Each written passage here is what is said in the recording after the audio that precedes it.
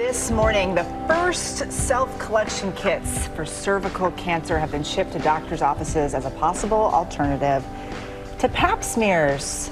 I find this incredibly curious. Dr. Darien, to be clear, this is not an at home test. This can only be done in a doctor's office at this point.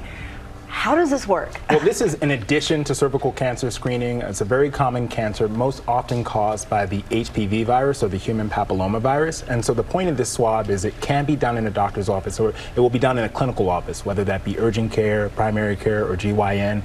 And the goal is to allow the patient in a more comfortable setting to self screen, to self swab. It is a vaginal swab as opposed to the provider doing it. And this is supposed to increase accessibility. Right now, they're doing testing, and hopefully, it will be available now for patients at home home, but this is answering a bigger problem, which is the lack of accessibility to OBGYNs. More than 30 uh, 36% of counties in the United States mm-hmm. don't have a functioning OBGYN. So this is a necessary addition, but obviously a sign of a bigger problem. That sounds like a positive development, just the more access. But what are some of the other pros and cons to this development? Yeah, so the pros, number one, are accessibility. It's also allow more patients to be more comfortable with doing these tests.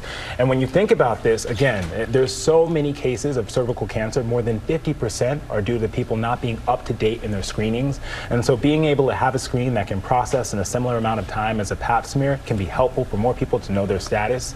And then as far as cons, uh, you know, obviously there is user error, which is one of the reasons why it can only be done in provider offices so that you can get an, uh, education on how to do it and also education on the result.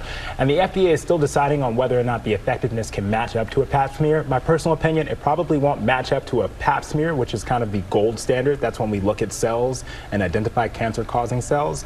The uh, screening for the self swab is similar to the self swab that a doctor would do. And that is seems to be comparable between whether or not a patient does it or a doctor does it.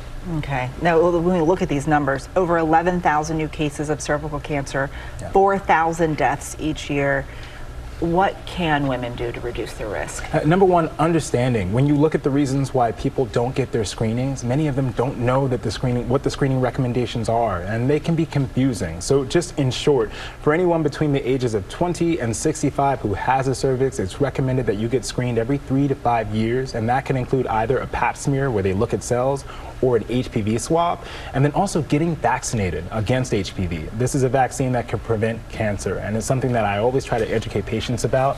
And we've seen in studies that it's highly effective. So talking to your provider about vaccination and screening is really important to reduce your risk. Mm-hmm. And those screening recommendations have changed in my lifetime. So there's a reason people are confused about it. Yes, absolutely. So it's important to make sure you take time to understand what is indicated for you.